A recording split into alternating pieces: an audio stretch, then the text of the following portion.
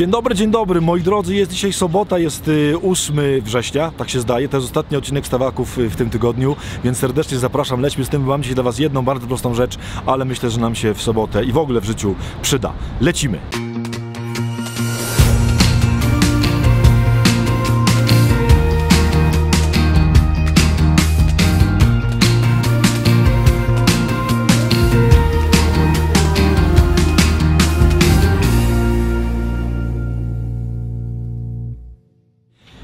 Dzień dobry, dzień dobry. Moi drodzy, bardzo, ale to bardzo serdecznie Was witam i bardzo Was pozdrawiam w te sobotnie, chciałbym powiedzieć popołudnie, bo mnie jest prawie popołudnie, chociaż jeszcze jest w sumie południe.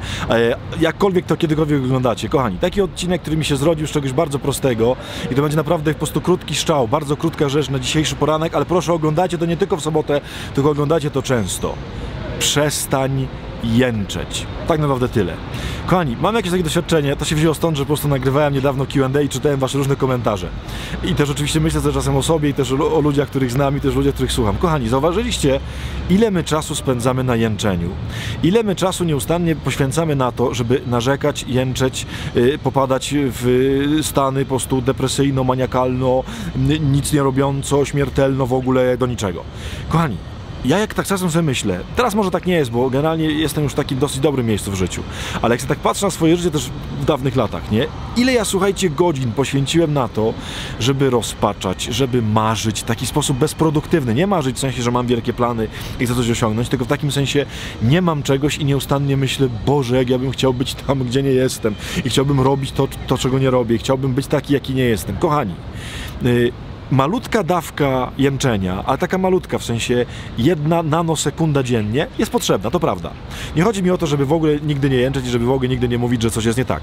Nie no, jak tak mamy, tak mamy, to trzeba tak zrobić. Czasem w ogóle trzeba po prostu się, że tak raz, a dobrze, po prostu jednorazowo mocno wyjęczeć, tak. Ale kochani, to nie może być postawa życiowa. I ten odcinek dzisiejszy, kochani, jest bardzo krótki, bardzo prosty. Skończ jęczenie. Pomyśl, czy przypadkiem w ostatnim tygodniu, w te ostatnie, nie wiem, pierwszy tydzień września minął. Może zacząłeś szkołę, może zacząłeś pracę, może coś nowego się dzieje w twoim życiu, a może jest po prostu tak jak zawsze. I może tak jak zawsze jęczysz, narzekasz, szlochasz, ciągle mówisz, Boże, czemu to moje życie tak wygląda, jak wygląda? Czemu jest tak, jak jest? Czemu jest tak beznadziejnie i czemu ja mam tak przerypane? I uwaga, kochani, ja tego naprawdę nie neguję, że zas- czasem rzeczywiście w naszym życiu jest, no, jest beznadziejnie. Jest tak, że w ogóle po prostu tylko ręce rozłożyć i w ogóle, ale kochani, taka postawa, takie przyjęcie pewnej pozycji życiowej tego jęczenia donikąd nie prowadzi. Kochani, czy myślicie, że od jęczenia cokolwiek się zmieni? Czy myślicie, że od tego, że narzekamy i że jesteśmy ciągle rozczarowani naszym życiem, cokolwiek się zacznie zmieniać?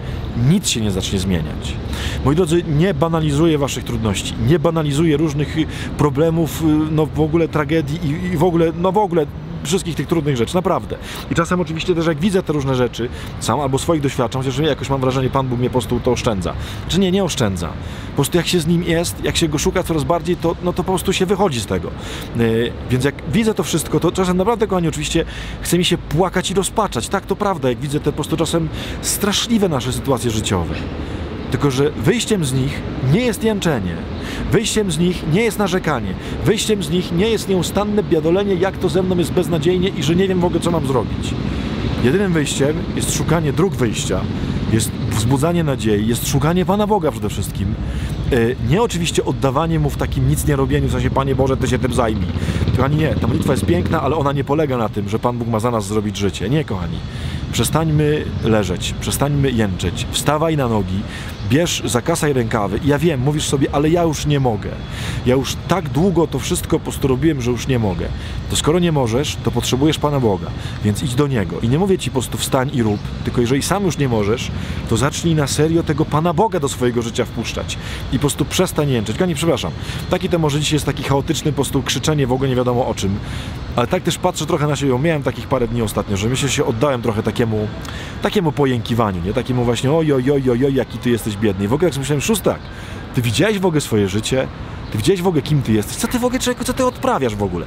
Co ty w ogóle robisz, że ty jęczysz? I kochani, nawet jeżeli macie największe tragedie świata, to ja tu będę w tym okienku w ogóle, będę w tym okienku tutaj, tutaj w tym, w tym, w tym okienku będę codziennie rano i będę was pobudzał do życia, żebyście nie jęczeli. Proszę was, kochani, w tę sobotę i oglądacie ten odcinek proszę często, zróbcie ten odcinek najczęściej oglądanym odcinkiem Stawaków.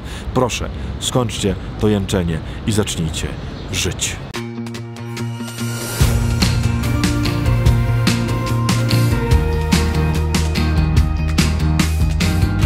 No dobrze, to tak moi drodzy zakończyliśmy e, tę sobotę i tak zakończyliśmy ten tydzień i tak zakończyliśmy wstawaki w tym tygodniu. Widzimy się oczywiście w poniedziałek. Ściskam Was, życzę Wam najlepszej niedzieli i do zobaczenia e, już niedługo. Z Bogiem, błogosławie, pa!